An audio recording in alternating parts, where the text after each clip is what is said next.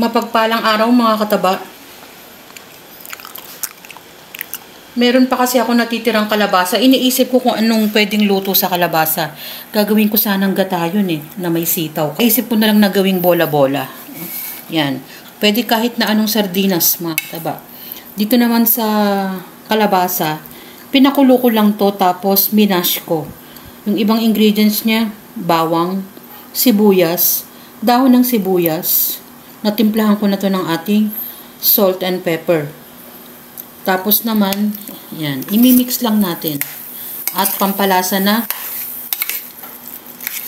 Ajinomoto. Nadurog ko na to kanina. At imimix ko lang yung ating mga ingredients.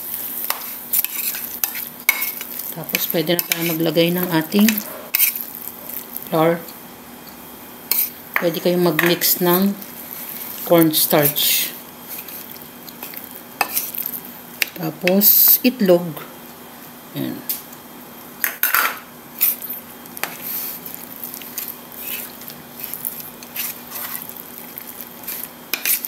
Halu-haluin lang natin para mabind.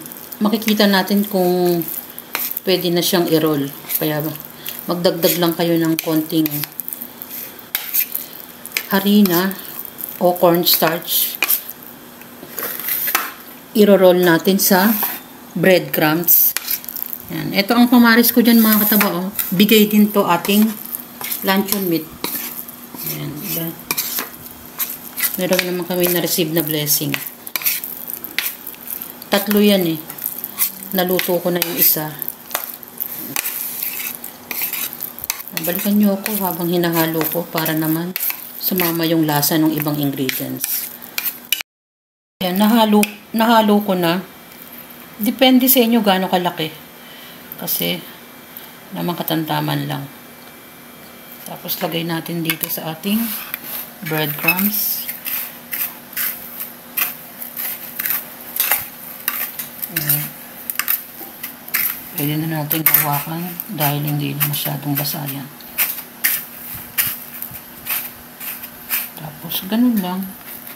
Yan, nakaisa na ako kanina. Ulit-ulit lang. Naluto ko na yung ating luncheon meat. Tapos ito namang bola-bola natin. After ko siyang marol, nilagay ko muna sa freezer. Mga 10 minutes habang niluluto ko yung ating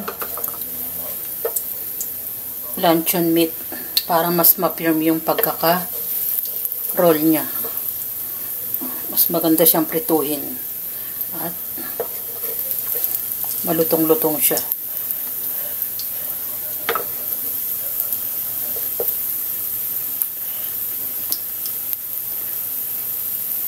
Yan.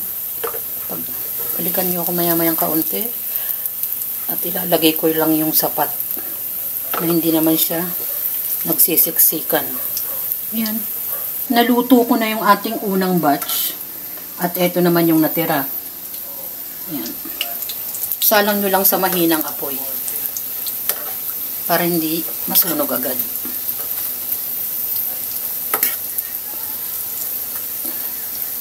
Kasi yung ating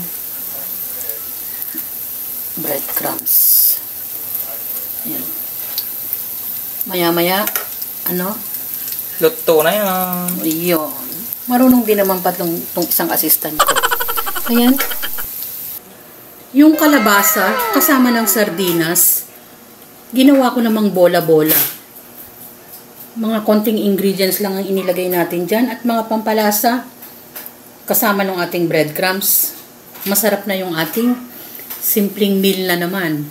Kapartner din naman natin yung blessing na luncheon meat. Sausawa naman niya ay soka. Yan na naman yung ating simpleng dish for today enjoy, kumain, at maging masaya. Salamat sa panonood! At bye! Ingat mga kataba!